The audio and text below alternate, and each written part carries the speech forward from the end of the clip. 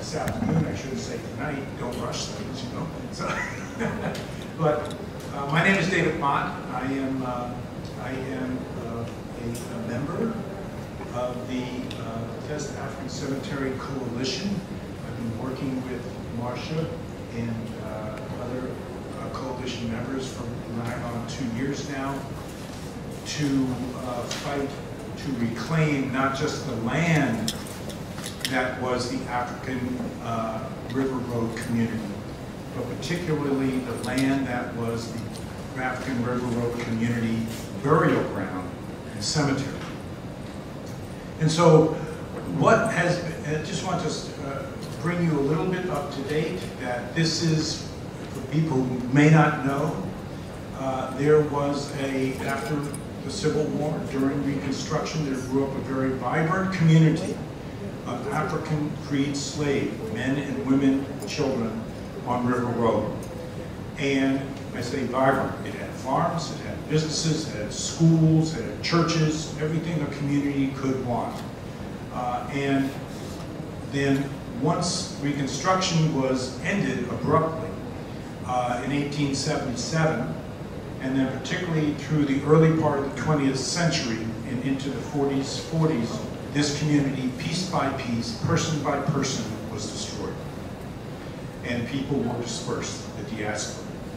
So for the last several years, there has been a real struggle, a real fight to win back land that was the cemetery, formal cemetery or cemetery, uh, that is held by several organizations, some private, some public.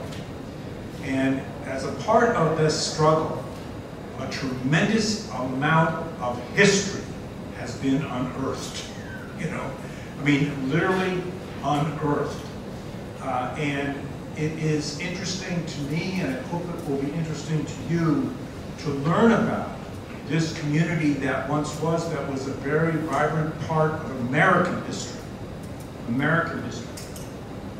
And so I'm going to start off with a little quote from Howard Fast about this because the, to put this into context, there are thousands of communities like this all over the country, freed African men and women who many times in coalition with poor white folks in the South, but also in, in the North, that built real democratic communities.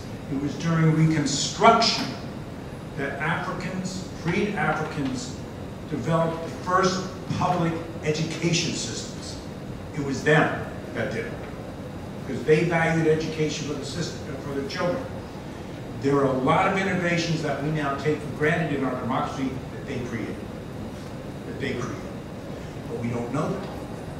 And so I'm going to read to you from a book by Howard Fast called Freedom Road.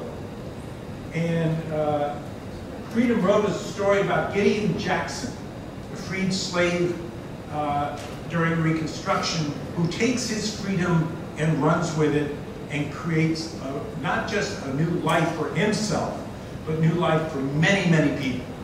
For many, many people. He becomes a congressman, which happened throughout the South. For the first time ever, Africans, African Americans became congressmen, state legislators, they rewrote constitutions in the process. And he created a community with poor whites called Carwell in this story.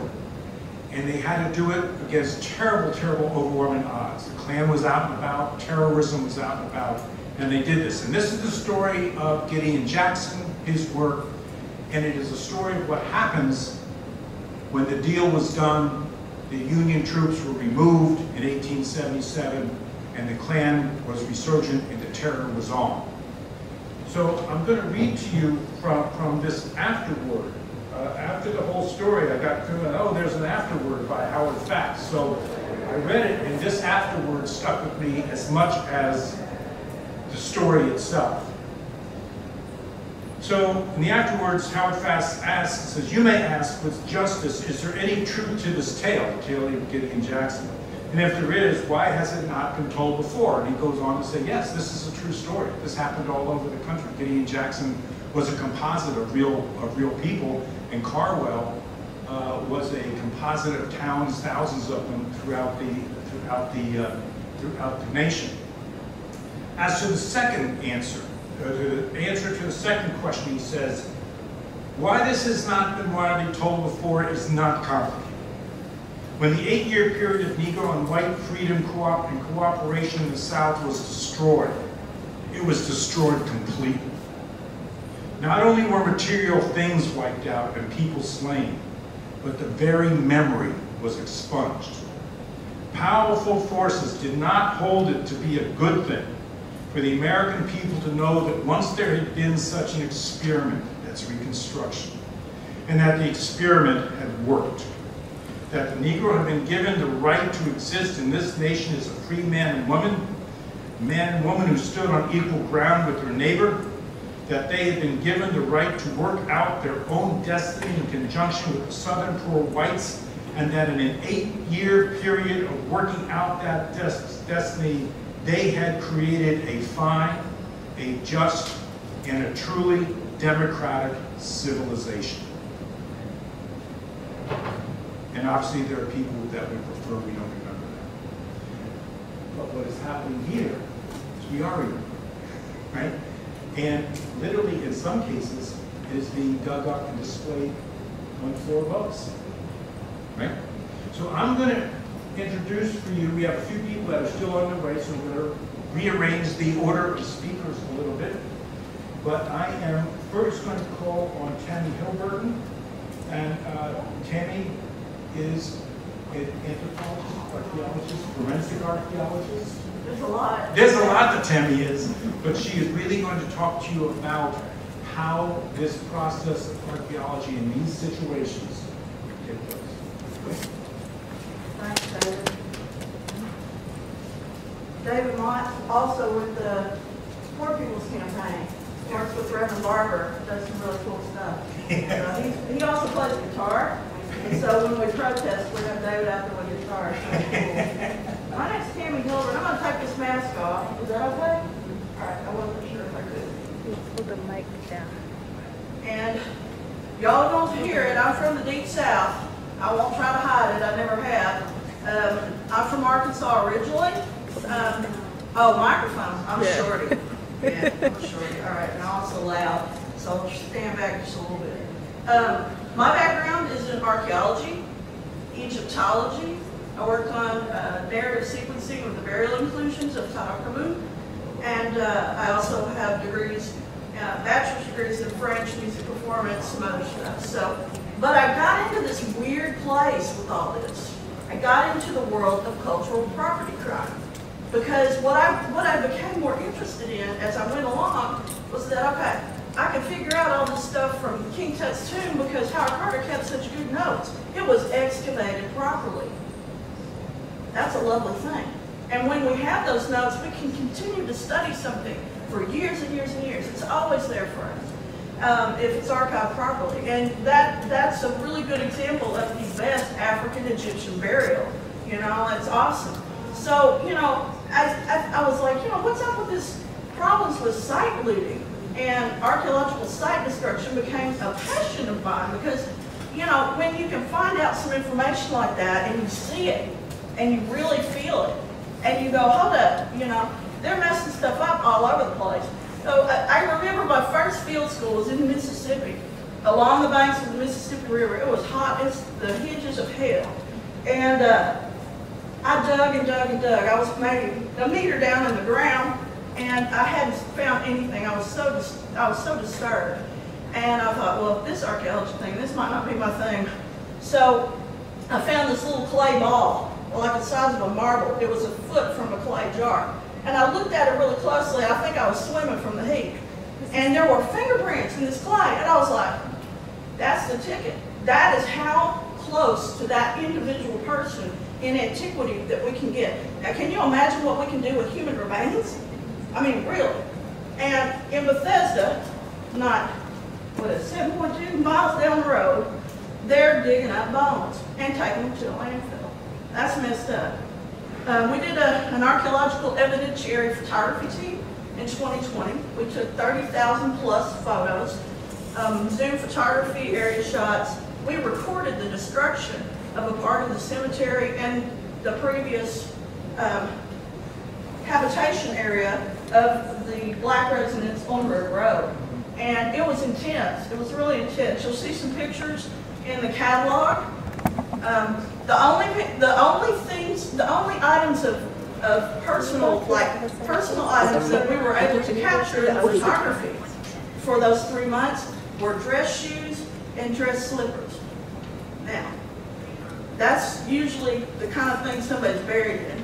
We also have, we caught, uh, we, we have one good shot that Nick took. My partner, Chef Nick Gregory, is on the end. He'll talk a little bit about the photography. But, uh, we got one shot of, uh, what most likely is part of a, a coffin lid. And we know that in the sixties, the, um, the cemetery was bulldozed, they, they, they took all the headstones away, they took all the landmarks away. I, there's more information about, uh, the stratigraphy of white supremacy in the exhibit catalog, and I can talk with y'all about that afterwards if you want, but it's been a trip. I can't believe it. We fought, we've been fighting tooth and nail. We took it to the state historic preservation officer. We took it to the state's attorney. We, we have forensically verified digital photographs, verified by teams in New York and London. State's attorney would take it. We, we were able to prove there were funerary objects on that site and that they were carting them out to landfill. We got no love from the state historic preservation officer or from the state's attorney, from the county executive, Marc Elrich. It's a mess. What really disturbs me the most, I came out here to work for Interpol Washington uh, as a cultural property crime manager. I'm not at Interpol anymore, but we make elaborate bilateral treaties with other nations such as China. If their stuff comes here and it gets put on the auction block at Sotheby's or Christie's, law enforcement is going to get it and take it back, give it back to China. We're going to have a big repatriation ceremony. It's going to be a big thing. That's great but not seven miles down the road, we can't do right by a black cemetery. Now, that's messed up to me. So I decided to get involved when my buddy, Dr. Yvette Evoa Butler, invited me on June 8th, 2020. So that's what I've been doing with the Cemetery Coalition. So if you have any other questions, I, I, I was I was ill with COVID earlier this month, this past month. I'm not infectious now, hallelujah, but I'm a little whack because of that. So sorry if I sound funny. But if I can, if I can answer any additional questions or you have things that you want to understand about how this happens right down the road, the diagram that I gave you kind of shows how these, it's almost like a RICO situation. You know, this is organized crime. Um, the descendant community has no say-so in the, in these, in the burials of their ancestors. And that's really messed up. Um, there's a lot of details. It- It's a huge case. It's one of many cases in the United States involving historic African-American cemeteries and burial grounds. This place started out as a slave body dumping site, then it evolved into a formal cemetery. So this, this site goes back to the beginning. So you can kind of figure that out for yourself. There are people here way more qualified than me to talk about that stuff. So thank you very much for listening. If I can answer any questions, let me know. Thank you, Tammy. So, uh, yes, this is, uh, and and Tammy, Tammy mentioned that, that this, what we're talking about, if you go to River Road now, you will see a construction site to build a fourth storage facility on that intersection, and that is where the burial ground was, right? In some of the formal cemetery of this community, but the burial ground, as Marsha will talk to you in a bit, was where slaves were thrown when they died. That's what happened. And in this community, when, not this community, but in these, uh, uh, the the confluence of three major plantations at that intersection, and then some minor ones, they grew tobacco. Tobacco, if you just keep growing it, will ruin the land. You can't grow much at some point, because it just sucks the nutrients out. So they couldn't grow, by the mid-1840s, they couldn't grow any tobacco, it was too late to switch to cotton. So what are they gonna do to make money? And they decided what they were gonna do was breed slaves. And that's what they did. The international slave trade had been outlawed right? Even in the United States, they outlawed that.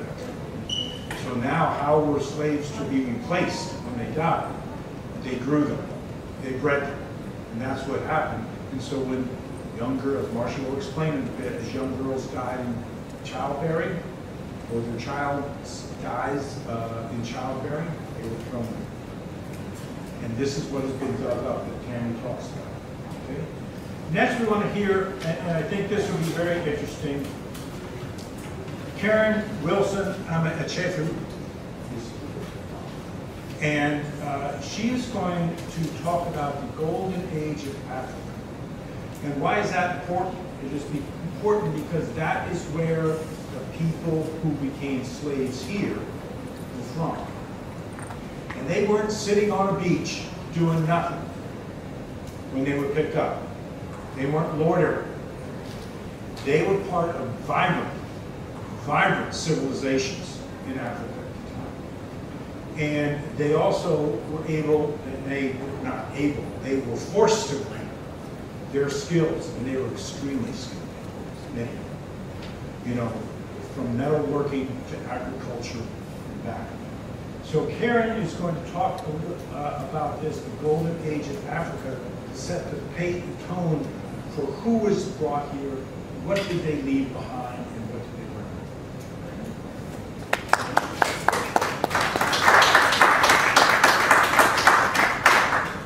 Thank you, David. I'm so grateful to be here with you this afternoon. Um, although, well, let me just start. There is a, an amazing image as you enter the exhibit of a man, a black man, dressed in, um, in the most um, uh, elegant European attire uh, appropriate for the Portuguese court. His name is Dom Miguel de Castro. You'll find that um, when you begin to look at 16th century and 17th century history in Central Africa, that the Portuguese had made inroads there. First, and you know, this is the playbook that is played out all over the world, really. First, they come as um, missionaries, as people um, purporting to represent Christianity. Although all-loving and all-loving Jesus would never have allowed his name to be used in that way, or anything having to do with it to be used in that way. However, they come saying that they are Christian and bringing this uh, wonderful, loving Christian um, tradition. And then when people begin to take it, as often is the case, particularly people of a certain class, upper class people we would call them, begin to take this practice, or whatever it is that the Westerners are offering, they begin to take this, then um, they find that they are opening themselves for manipulation, for um, uh, war, for captivity. Because although the people who come in first with this may be of peaceable mind, those who come after them uh, are not. And we have to remember, just as we remember, I'm going to be talking about the golden age of Africa, we need to also remember that in the history of the world, this period, the 16th and 17th centuries, are what um, some of our uh, history texts call the new monarchs in Europe. What they mean is they were monarchs in name, but they had no money. They had no money and they were um, running out of what they did have. The resources they had were getting very scarce. And so they, um, instead of tribute, as some of the older empires did, they would subjugate places and have tribute brought to them. They allied themselves with companies. The Royal Dutch uh, Company, the Royal East India Company, the Royal, Royal British Company. What those companies are, is they are proto-capitalist entities. And those early capitalist entities began to call the shots for the European monarchs because they were the ones with the money. So that's what's going on in Europe. They're trying to find, to claw their way up out of, um, out of what we call a medieval, uh, out of the dark ages, and find themselves a place in the world. So the world had all of these incredible riches, but nobody wanted their wool. So now we come and look at Africa. What, 10 million square miles of absolute amazing, amazing um, strength and beauty, not only in its physical, in her physical attributes, but also in her intellectual and cultural treasures.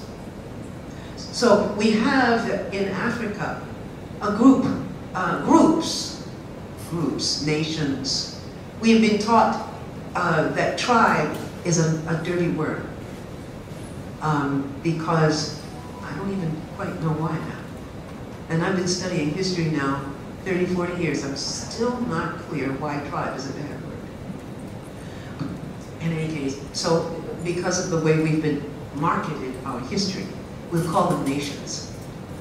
Nations that fill this 10 million square miles and have discovered ways to deal with the many, many, many different kinds of, of uh, geography uh, that, that they were presented to traverse rivers that are un unnumbered, unknown, unknown in number, at least not by me, to um, find themselves, you go 50 miles and there's another language. Well, you learn to learn languages pretty quickly um, with tremendous uh, mineral and uh, gem deposits all over the place, with salt, which was one of the most precious things that the world had, um, and pepper, which at one time was very difficult to find. We have um, in the in the Niger Delta a tremendous um, tradition of the cultivation of foodstuffs. It can be a breadbasket for the world. So then how is it that Africa now is hungry? Everyone takes from mother, but no one gives. And so the people who came to River Road came, I would tell, I would say, as um, Dr. Michael Blakey, Blakey directed us, came from Congo, and they came from Senegambia, from Senegal and Gambia region. Um, we know that in a number of ways. We know that um, women in Congo were much, could be, let me just say, could be highly respected, strong leaders, uh, in some cases military leaders, in some cases political and economic leaders. So we see Queen, Queen Nzinga, who has taken in um, Congo, Ndongo and Matamba, in, Ndongo and Matamba.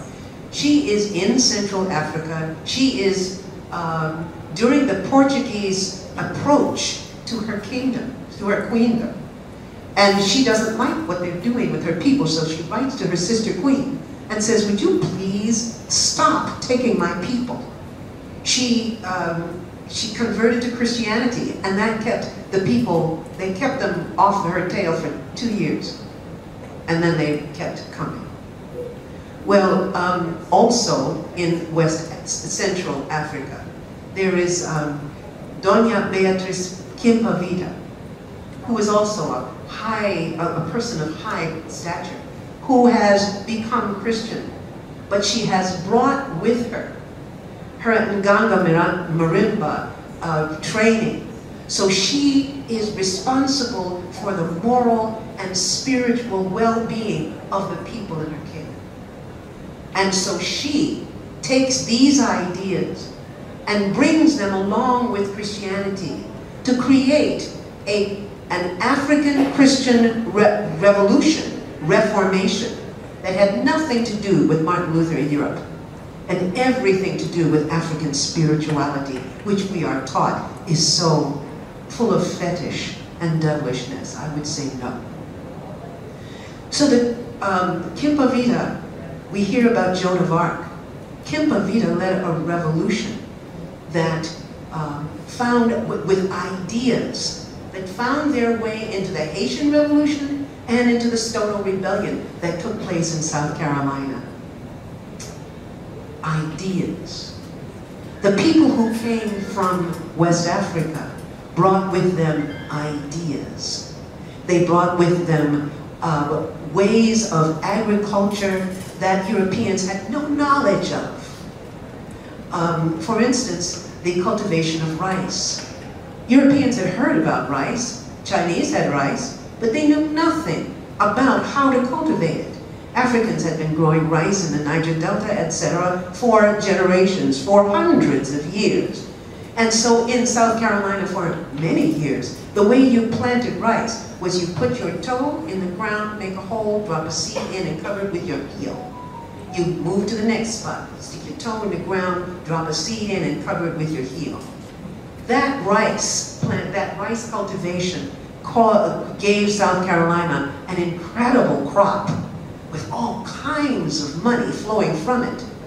None of this, not to the Africans and not to their descendants, has flown in that direction. When we talk about reparation, that's the sort of thing we're talking about. We're not talking about who was on the ball plantation in 1830. We're talking about the, the, the wealth that was developed by Africans for Europeans over generations that is now flowing into European American communities. But none of those are flowing into African communities. And so Africa, which is the mother of all, and her descendants, that have taken all of this amazing knowledge all over the world, are being left to beg. And that's wrong. So we have in Africa, as you will see in our catalog, three of the earliest um, universities in the world that attracted attention and students from all over their known world at the time. We have ophthalmology, we have science, mathematics, for instance, African fractals, you can go and look them up. It's a way of understanding the, the, the natural world and you see this understanding blossoming in the layout of African communities, traditional communities. Um, so the people on River Road brought with them a realization when they hit these shores, and the realization went deep into the ground. We say that Congo goes deep into the ground and comes up in our diaspora fruit. So on River Road we have two women, two groups of women that we should be looking at. One of them is Charlotte Gray. Charlotte, well, let me tell you about the River Sisters. The River Sisters were two sisters who had, who were very wealthy, had wonderful um, uh, property, and were much respected in ways that are very unusual for European American women to be respected. That is not the way the community worked.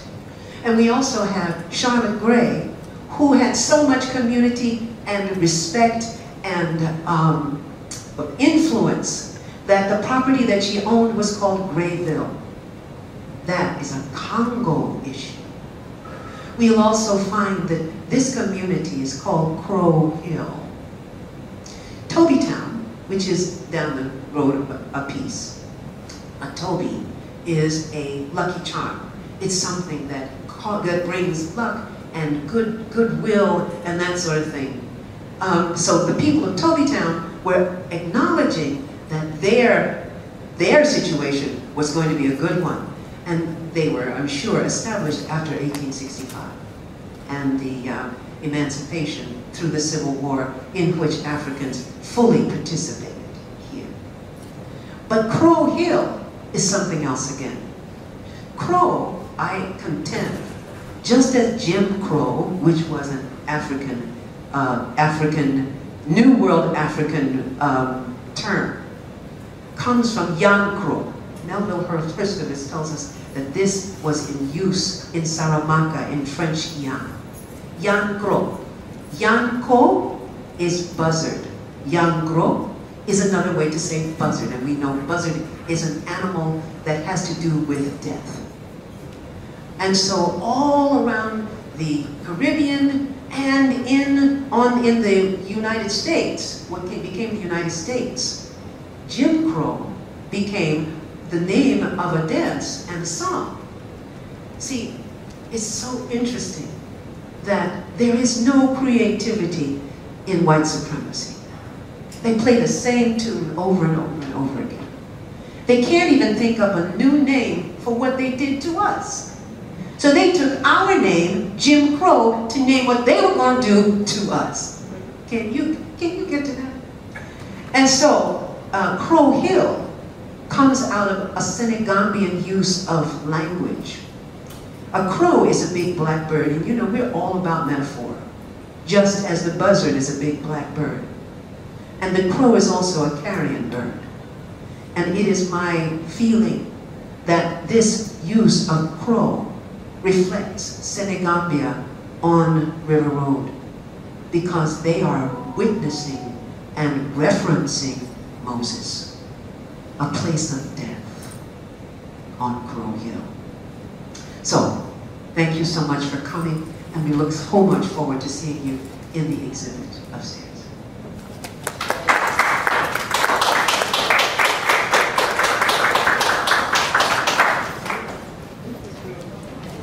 So, next we want to gonna, we're gonna hear from a couple of, not a few more people, obviously, but I want to introduce Marsha Bayo, who is the leader, the formal term is president, but the truth is, she is the leader of the, uh, uh, uh, of the coalition.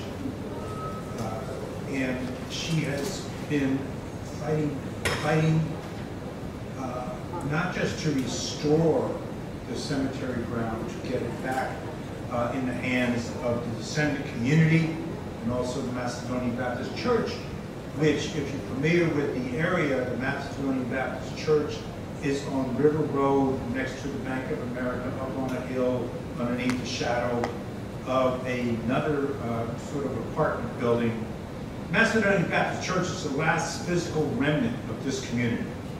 It is the last physical remnant of it. And um, Segun Adebayo, her husband, is the pastor of that church. And, uh, you know, Marsha has been fighting to regain the property, to regain the pieces of property that were the uh, cemetery. But also, she is the leader of the coalition that has produced all of this work of archaeology, all of this work of literature on, on uh, books that uh, Dr. Karen just referenced and that is on sale out there. She has been the centerpiece of all of this. So she is going to discuss now, as Dr. Karen did, who were the people that came here. She is going to discuss particularly what happened to the people when they got here, and particularly the women and the children.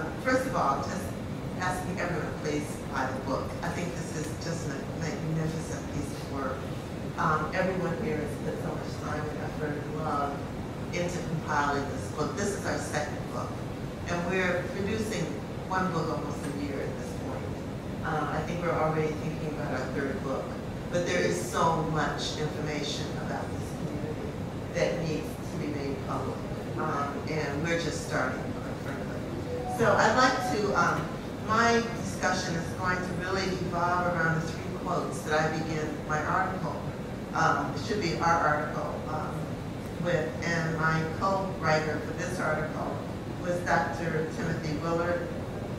And the name of the article in the book, and you'll find um, this article, is Human Trafficking, Sexual Brutality Against African Women and Forced Reproduction, Death as a Way of Life.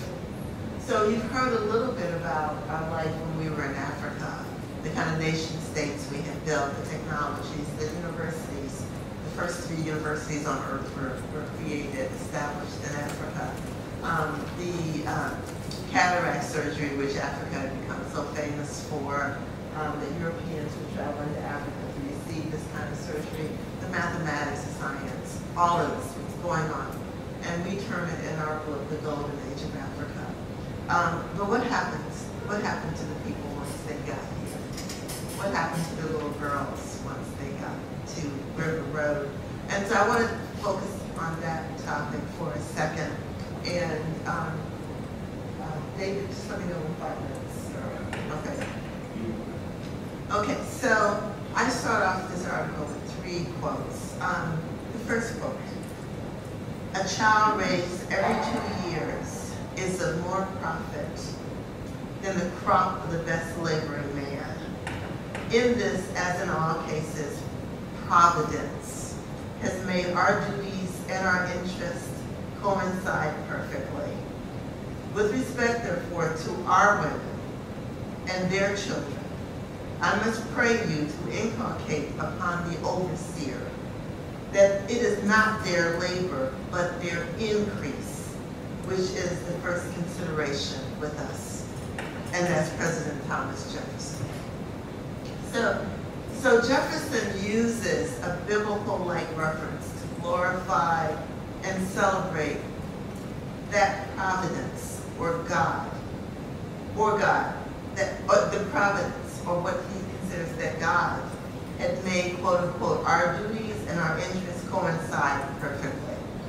So what Jefferson is referring to is the institution of sexual breeding, or what BACC, our organization calls sexual barbarism, of African girls and women that brought unfathomable rates of death as high as 90% in some areas of the country and unspeakable suffering to children.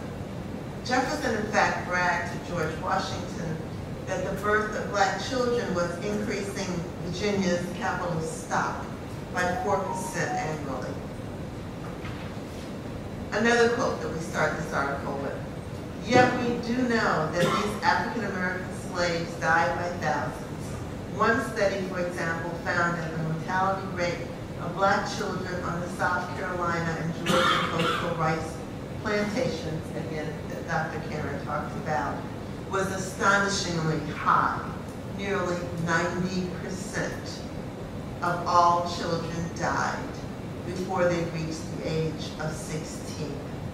Even on more interior cotton plantations, it's likely that nearly one out of every three slave children died before adulthood. Death was certainly a way of life for African American slaves, and they had ample opportunities to make the trip from slave settlement to cemetery for their friends and family. This quote is actually taken from the BACC legal brief. As you may know, we've just won two historic lawsuits. And if you read um, the lawsuits, which are absolutely brilliant, you will find the historic reference to this. Um, and it's taken from the article entitled History of African American Cemeteries. All of this is in the book that you can get from outside. And last but certainly not least, um, a quote. She died about three hours after I was born.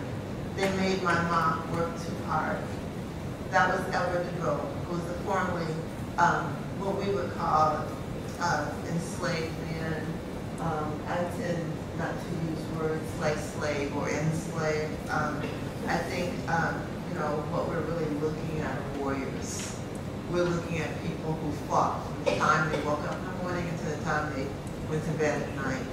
Um, the fact that they were captured is, is initial war, quite frankly. So I'm really comfortable with calling my ancestors warriors. Um, but if there's one point um, that I'd like for you to take away from this short uh, lecture, um, is that the system that Europeans, our enemies, um, called slavery, was actually a war against Africa's children. And perhaps, and perhaps Africa's girls.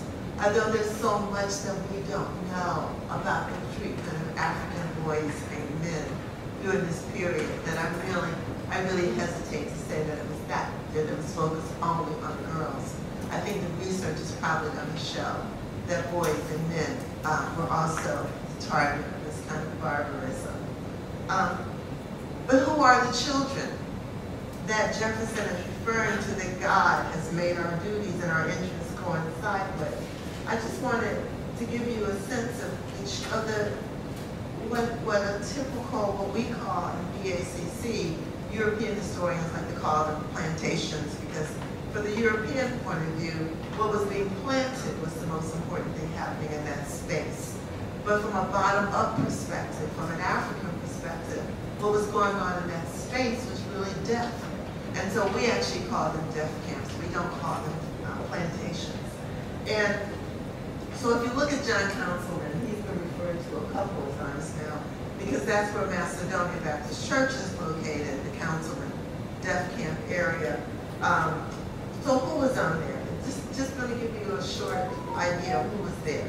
Uh, so there are no names, of course, because our ancestors have, you know, are now not being called by names, are being used, called by other, uh, in other ways. One 21-year-old male, one 14-year-old male, one 5-year-old male, one 14-year-old female, one 12-year-old female, one five-year-old female, one 14-year-old female, one four-year-old female, one three-year-old female.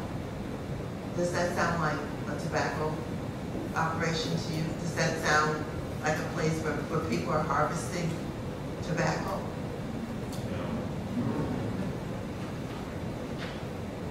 So tobacco plants commonly grow up to four to six feet tall, depending on the species. And some grow as tall as 15 feet. I've just read you, I've just read you what a typical plantation or death camp looked like on River Road. I'm just gonna take one second and say, when you go upstairs again, you're going to see a, um, a display, um, a display area, and you're going to see a white chemise dress. It's a slip that the little girls used to wear under the robe. They didn't have underwear, not even in the winter time. And they didn't have shoes to a large extent. Um, and they were five years old when they started being rented out to various homesteads in this area. They were literally being rented out at five years old on weekends. And you're going to see the white dress they wore. And I want you to really think about the girls when you think about River Road, because it's one of the very distinct properties of this area is that they were so engaged in corporate sexual violence against little girls, not the, um, the, the Hollywood notion of what was happening on, on, in these areas. But what was really happening in these areas was that children were being murdered. Thank you.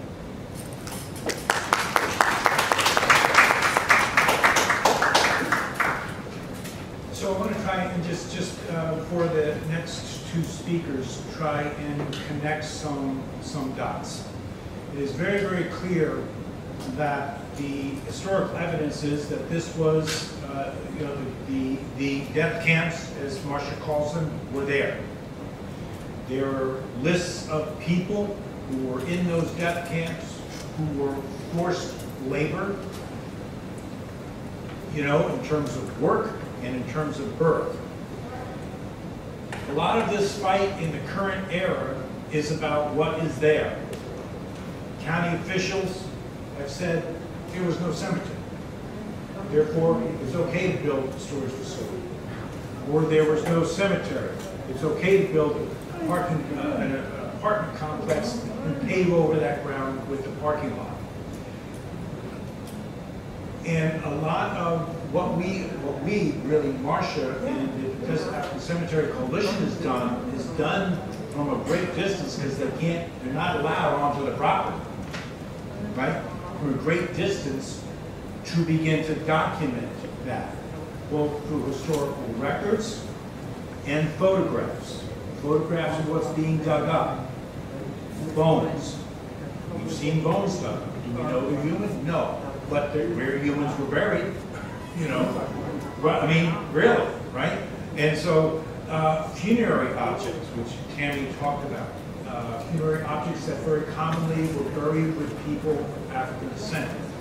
So I want to uh, bring up two people. First, Nicholas Gregory, who has worked with Tammy, is Tammy's partner, Chef Gregory, and uh, a very good book. Uh, and he's going to talk about the photographic, what they did in photographic evidence to begin to prove beyond a shadow of doubt that this is what we're dealing with.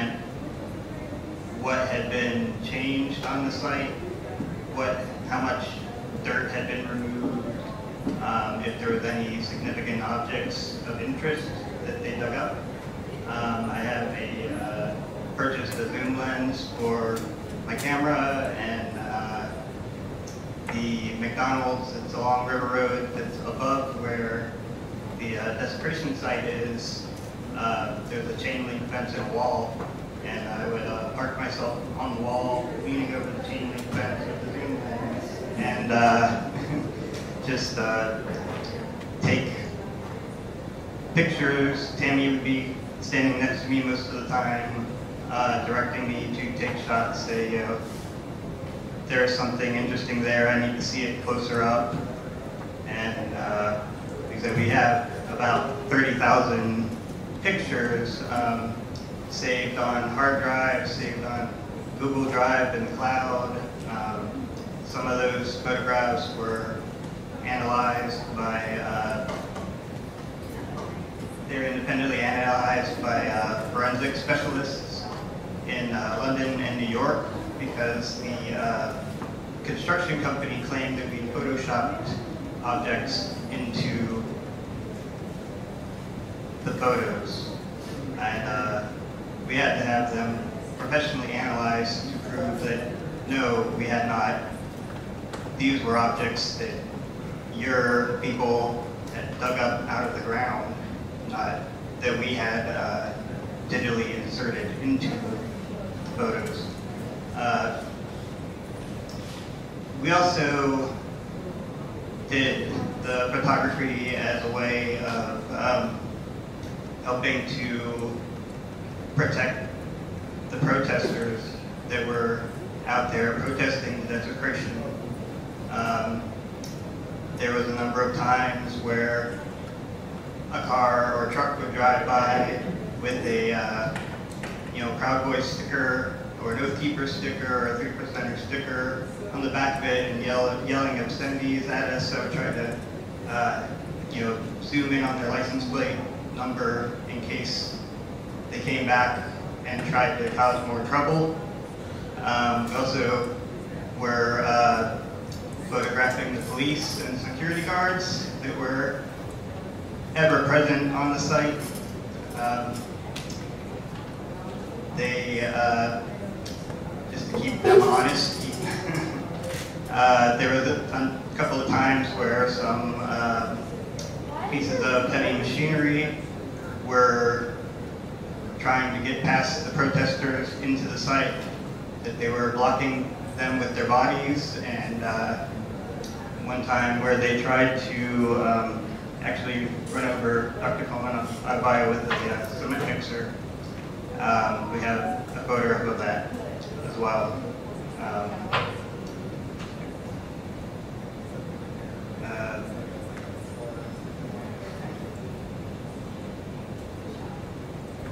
The construction company leadership harassed you, The- they they harassed the photographers. The, uh, it wasn't just, there was a, one of the executives for the construction company would, would come to the site on occasion, and, uh, there was one particular time, I think the photos are upstairs of that, of him removing, um, glass bottles, very old glass bottles from the site, um, taking them, looking at them, you know, discussing with the foreman there, like, oh, these are really nice, and then taking them and putting them in his own personal vehicle to take home put on his mantle or on his desk or whatever. Can I jump in super quick? One of those bottles could possibly go, historic bottles like that, intact, some of those are worth upward, like, we're talking like hundred twenty-five thousand dollars. One of those bottles can be worth that on the art supply. So when you see the pictures of the guy scooting away silently upstairs, just keep that in mind, but that's what Nick was chatting about. And the bottles are also commonly, um, Do you have any questions or anything? you know, Okay, buried perfect. All right. I'll with see you the deceased, um, you know, with personal objects inserted into the bottom bottles would be buried with them. And, you know, the, the objects inside the bottle may not have survived, but the bottle itself survived. Um, so the fact that there was quite a number of very old bottles um, being unearthed from the site um, is pretty good evidence that, uh, you know, there are burials intact there.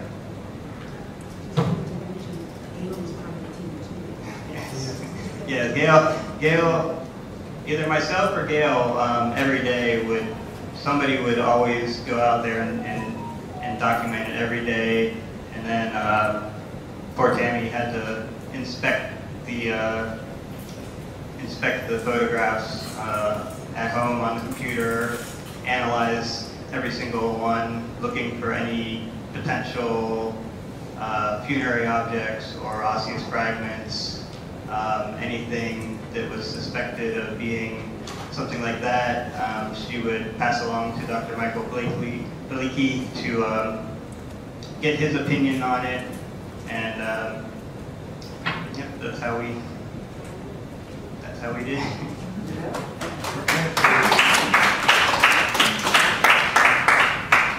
So this is, I mean, it, it, it, uh, I thank you very much, Nicholas, because, uh, without those photographs, we have no proof, right? And those photographs were people, it was very hot during the summertime when you're doing this stuff, leaning over a wall, taking pictures, thirty thousand photographs, review- reviewing them all to find out what they are doing. And you'll see some of the photographs up above, uh, as, as Nicholas and Tammy were saying, of these archaeologists that are hired by the company that is digging up this land to put a, a storage facility in on Road. One of them is literally stepping on bones. Another one has these, these funerary objects which we, which are colored bottles, right? And he's putting them in his truck, right? And so, you know, and then we go to the state's attorney, and he says, they didn't find anything. No, I mean, that's what we're told. I've had conversations, saying, well, we didn't find anything, you know? And other officials in Montgomery County, there was nothing found. That's not true. That's absolutely not true. I want to introduce Gail Rebhan. Gail is a photographer, but much, much more. She is a big part of what is above us here in, in the, in the uh, display, the, the, um, uh, the, yeah, as a word I I would say, a display of the history of, of River Road from Africa to River Road and then to what life was like for people who were enslaved and forced to work on River Road.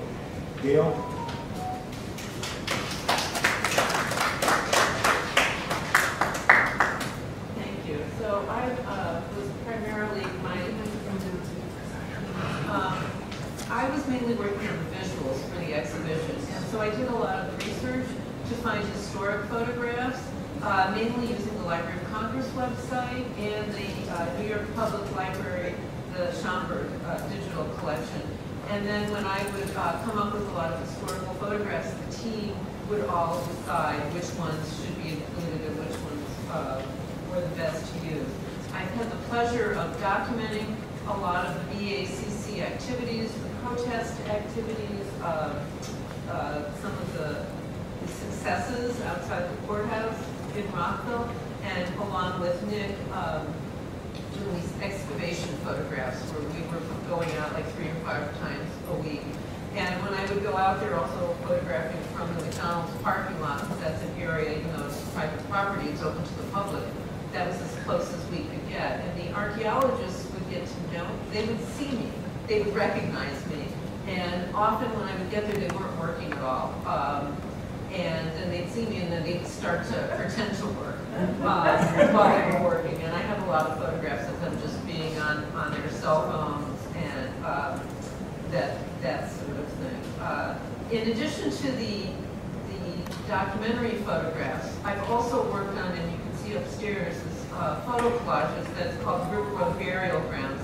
And there, I tell the story visually in just very few words about uh, the ongoing desecration that is happening uh, where they are building a self-storage unit. And um, the, there are these excavation photographs, and then I took photographs of the artifacts, many of the artifacts that were found by BACC volunteers. And these, at one point there was a soil dump, and uh, BACC volunteers followed the dump trucks to Ivesville, Maryland, and in 20 minutes found lots of stuff. And you can see that stuff in the vitrines there. Um, But they had to work very quickly before they were told to leave because it was private property. And afterwards, uh, everything was crushed, everything was steamrolled. So that any remaining artifacts, which I'm sure there were many, um, are completely destroyed. And even them being taken totally out of context, totally, uh, you lose a lot of information uh, by the way they were uh, damaged. And so um, these artifacts, I tell this story, and then a lot of the photographs just have one word on them. And they're words that have multiple meanings, like broken, damaged, removed, corrupted, uh, dislocated. So these refer to the artifacts being removed, the burial grounds, the River Road Black community, the redevelopment process. So that these words have multiple meanings. And I have a black border around the to echo the idea of a funeral announcement. Um, the, the photographs are also displayed in different contexts. So um, at BACC protests, they're often mounted on dry mount and held up uh, by protesters. Sometimes they're on easels, and in a fine art context, they're, they're framed behind glass. Um, but uh, they are documentary evidence, and so there's a lot of documentary photographs in, in the exhibition. Some of them are mine, some of them are Nick's, some of them are other other people's.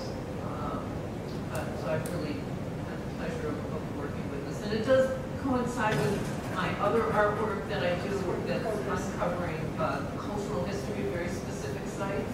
And when I do this in the Washington area, there's almost always a racial aspect to the uh, history of the different sites. And the River Road is like, is less than a mile away from here. Yeah. It's very close. Thank you, Dana. In uh, 2020, I think it was 2020, September 2020, time flies during COVID. um, The, uh, we we were visited by Reverend William Barber II for a rally at the Macedonia Baptist Church. He spoke to us by the way of Zoom. Uh, I ended up, and, and you can see, uh, he is, I translated, translated, transcribed, uh, sometimes I felt like I was translating. Um, uh, Translated his speech, and it's in this book, which again is on sale out, out front. But I want to read, before I introduce our last speaker, who I think is really, really important, I want to read a little bit about what he talked about to again close the circle a bit. And he talked about this. Over the course of American history, approximately 11 million acres of black people's land was lost and stolen. That's, this is about land theft, land theft, land theft. And it was stolen through fraud, deception, outright political trickery. Much of this land has happened, in much of this land thefts have happened in the last 50 years. Latino people, and I got a kick out of this, although it's pretty horrible. Latino people, we stole whole two states from them. From Mexican people, we stole Texas, Arizona, now New Mexico. And the reason we stole Texas is that the Texans wanted to keep their slaves. Poor white folks had their land stolen. Now that we have seen, going back to this article, he's quoting a New York Times article, is that if we had not had 11 million acres of black people's land stolen, these properties could have provided the foundation of black wealth building in the Jim, post-Jim Crow era of America. Instead, you get people in slavery for 250 years, Jim Crow for 100 years. You never gave the 40 acres and a mule. And then on top of that, you steal the land they do have, and other people make, people make money off of it. And then he goes on to talk about this. Thurgood Marshall said this about land. He said he described the manipulation of tax delinquency laws by white officials as the practice and custom of depriving Negroes of their property through subterfuge.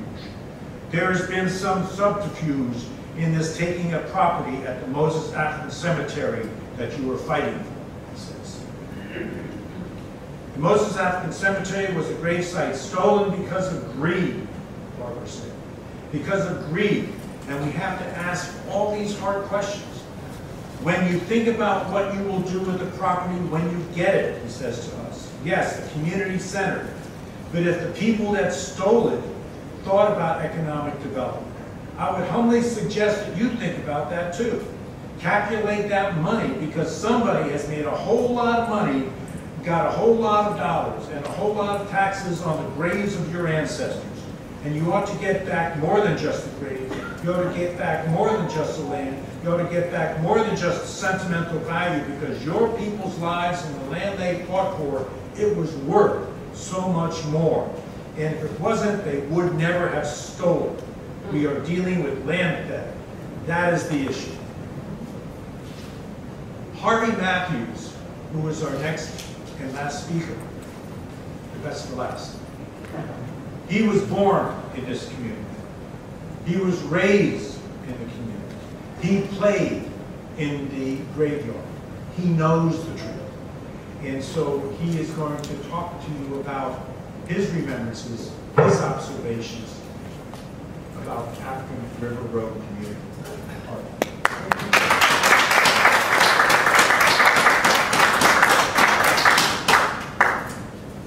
Too glad to say good afternoon to everyone that's here.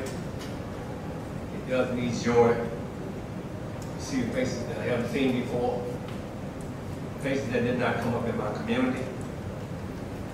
But I do have to take time up and give thanks to folks who have helped us during our struggle on River Road with the Moses Cemetery. Tammy, I've been asking and asking and asking, where have you gone? But I haven't seen you, Rick. I was there some days, you didn't know I was there with you all, looking for my father.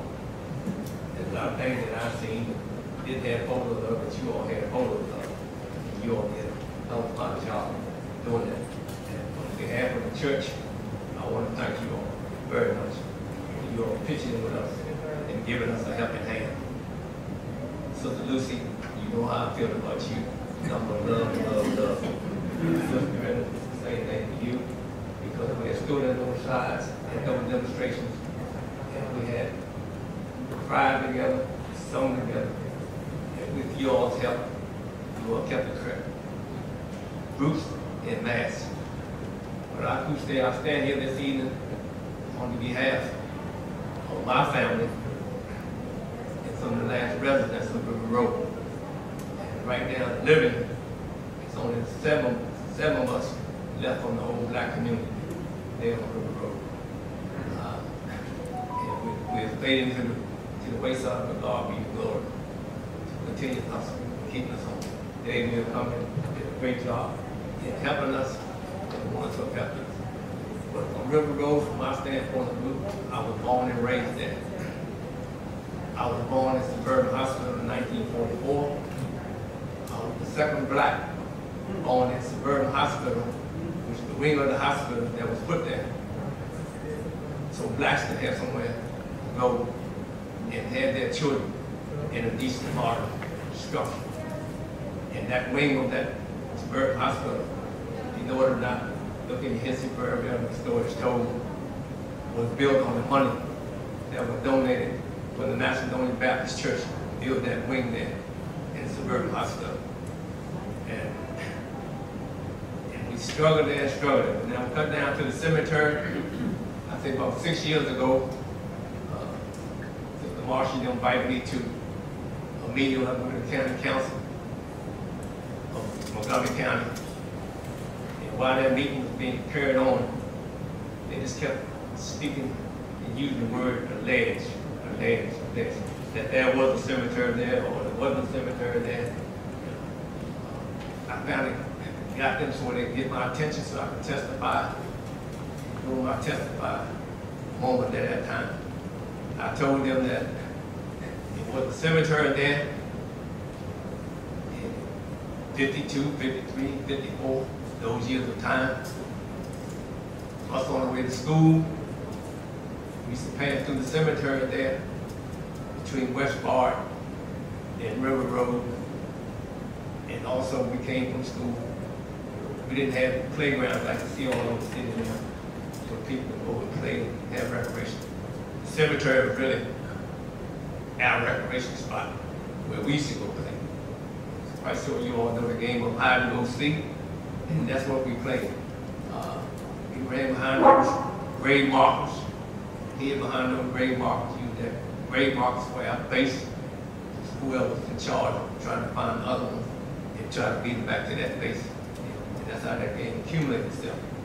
But in the later years, get Montgomery County to understand, it took us about three years or six years that we've been struggling now, to convince them that there was a cemetery there.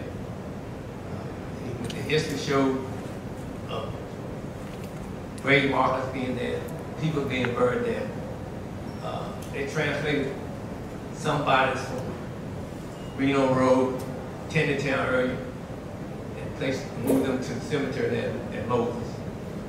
Someone to give you knowledge of that, some is hush hush, some is thrust on each road for you not to know that knowledge. And when I was going to public schools in Montgomery County, after they closed our school in nineteen fifty-four, which was all black school, when our grades went in that school from the first to the eighth grade, and we had those three-room schoolhouse there on the road.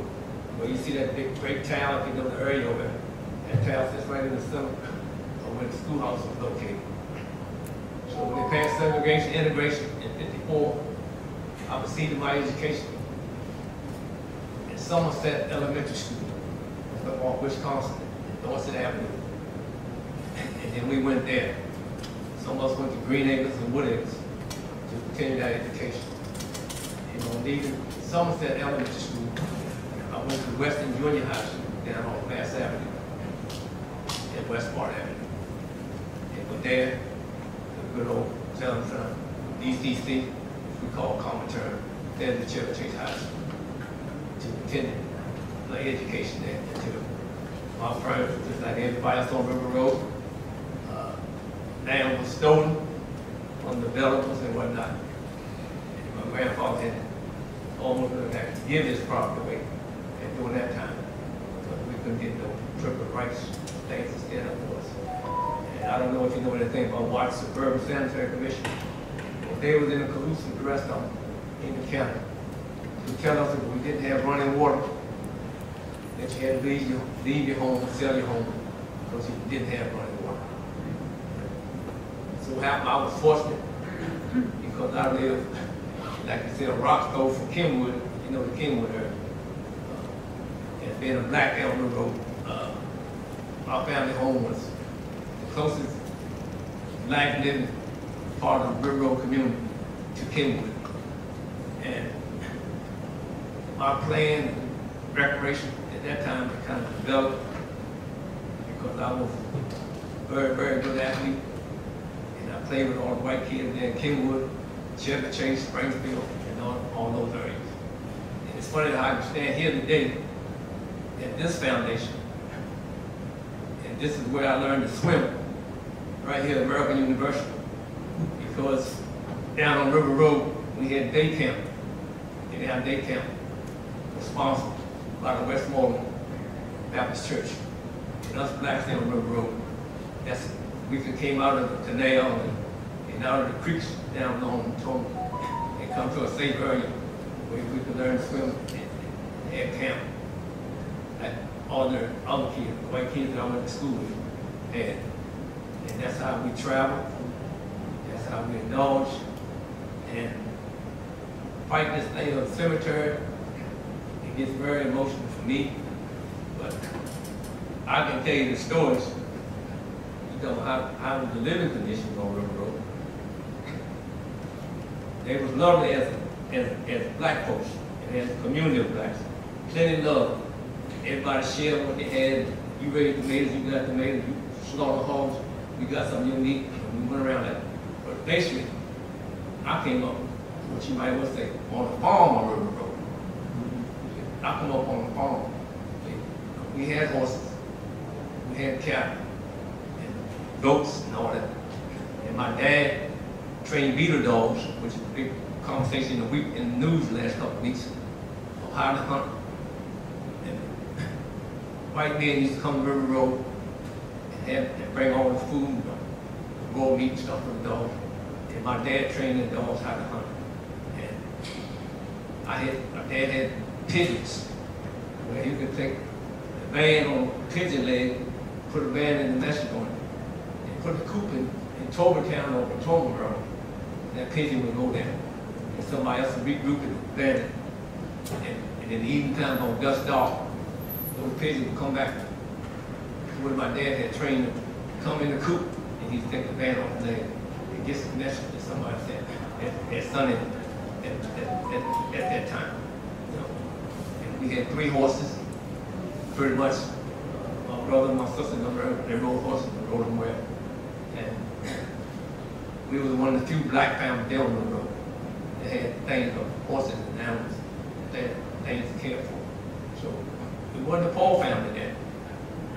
And eventually, people, the kids I went to school with, their parents and their grandparents, able to provide my grandfather, tap off their water line and bring running water into our house down the road. And we was one of the families that, that had running water, that watched the bird, that paid us out, and said that we didn't have it, that's why, we had to move up. But they found other trickeration ways to get my granddad area land that they owned. Right today, you know anything about the area, River Road over there, right where the whole food sets. Corner River Road, all the way back to Dorset Avenue, come up, back around the railroad track. Yeah, my grandfather owned it, where those two gas stations set down, right there. The security, know, space, storage is, you know, all that was their property. They own, they own, through the shaft, recreation, white man's triggeration and whatnot. Found it phased us out, like it did about us. And we left the railroad area in nineteen fifty-eight, moved to the DC area. uh, Where I finished my education at Lower High School, you know, Clifton Street, Thirteenth Street. But What is there to go to be at home at night? What is there to be fearful when you went to bed you was to wake up to the breaking of a new day the next day? No one had to tell me the story about roots, different stories that had come out and they had shown me that I lived it down River Road. I know what it is to be beat, see my grandfather, my dad, my mom, them, go from the front room to the back room to the front yard and get the living hell beat out of them. Because the clamp them with their sticks and their clubs and whatnot. And I lived that. They had an earlier time that they used to call blackout. And what blackout really meant was when they came through, their buggers, their old trucks, their wagons and things, and declared blackout.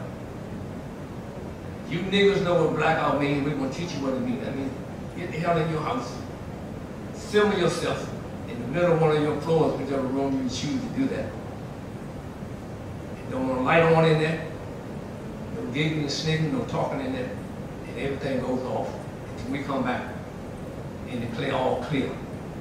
Then you can go back and consume radios, TVs, socialize yourself. But deep, deep, see burn. I'm almost 80 years old now, but I lived that for myself. And I took them for. And I always visualize, still today, hearing my mama cry in the midnight hour, whichever hour it was the dark. Not to kill my father, not to kill my grandfather. Have mercy on them. Lord, please have, have mercy. And I lived that. And I grew up with that. And, and, I, and I ain't ashamed to tell it. I tell, I tell it to just like tell the grandkids. You know. I said, I said, granddaddy lived some of that time. And I went through some of it. I went through some of them beatings, clubs and whatnot. You know.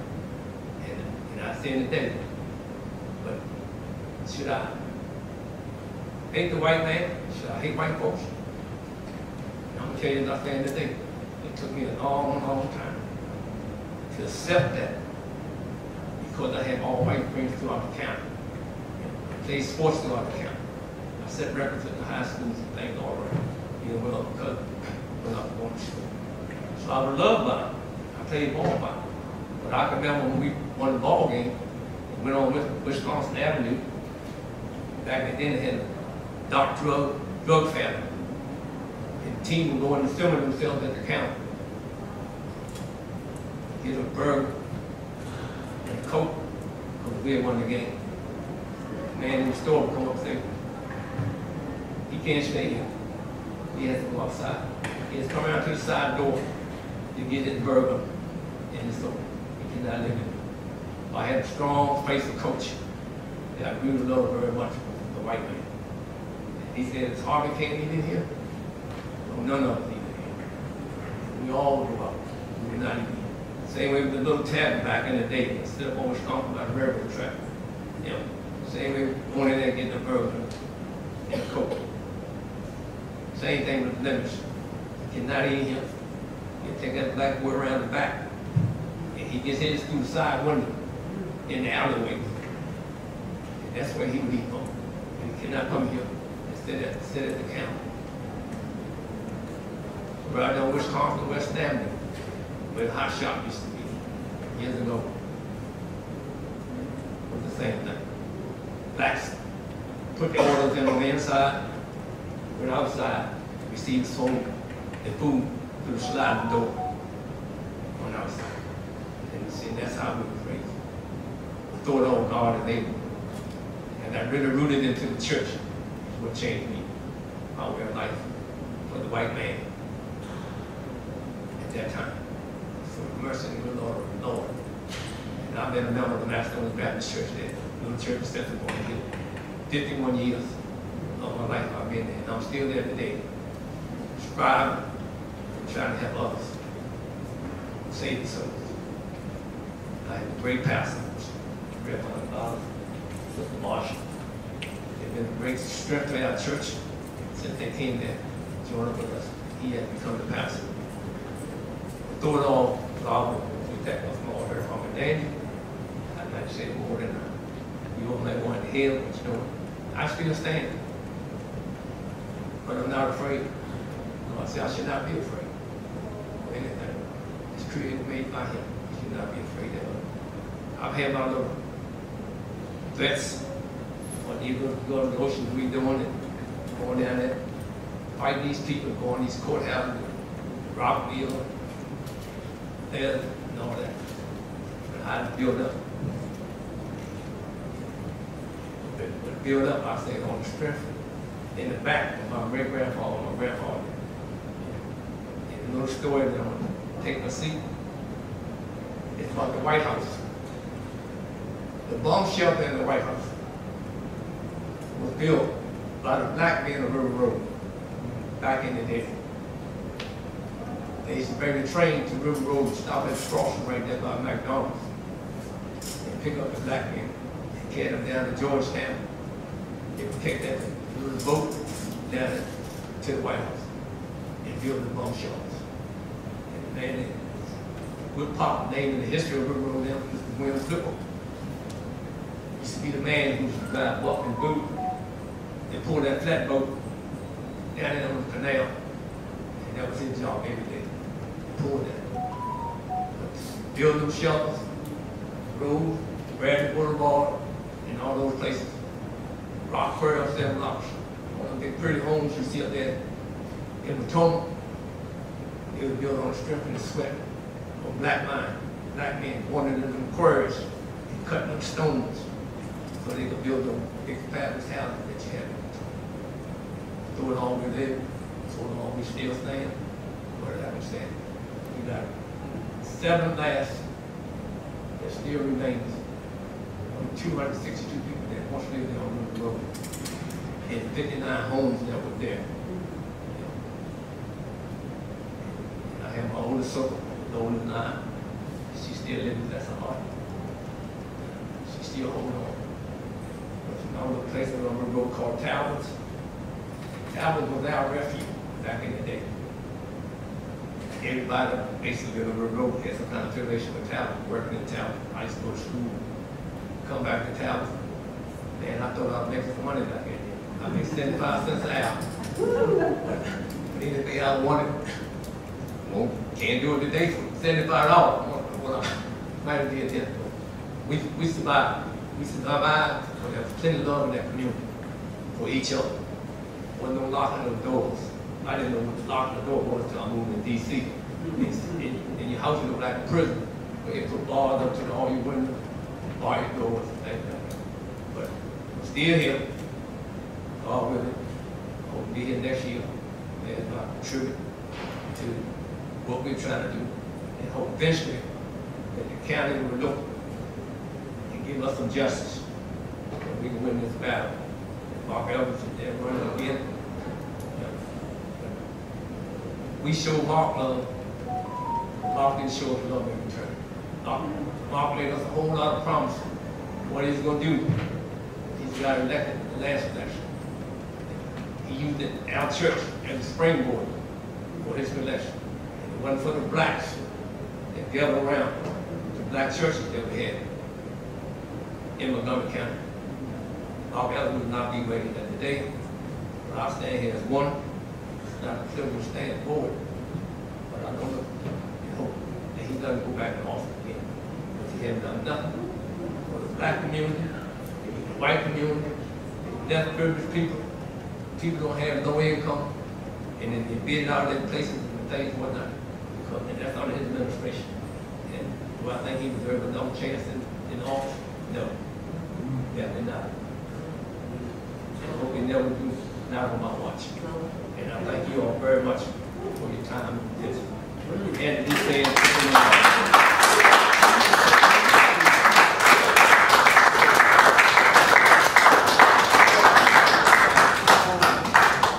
So, without any further ado, I I want to thank everyone for coming, and I really want to thank all of our speakers today. Um, You know, there's all this talk about critical race theory. This is what this is, right? This is it, right? It's the unearthing of the truth. Brother Harvey, Harvey Matthews talks about white folks, Klan, that came through beating. So you could say, uh, just the Klan. No, it wasn't just the Klan. Government officials in Montgomery County facilitated this destruction of this community.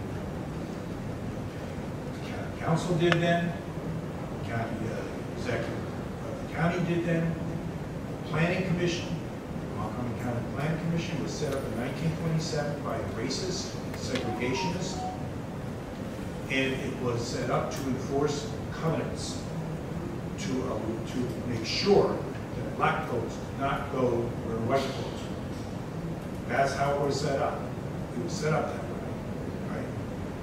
Federal Housing Administration under Roosevelt was set up and it enforced exclusions of black people from white areas. It did it on purpose. It was a part of their policy. This is, so all of the history that you hear here is a part of that examination, which is critical race theory. You just don't say it's somebody who's acting badly.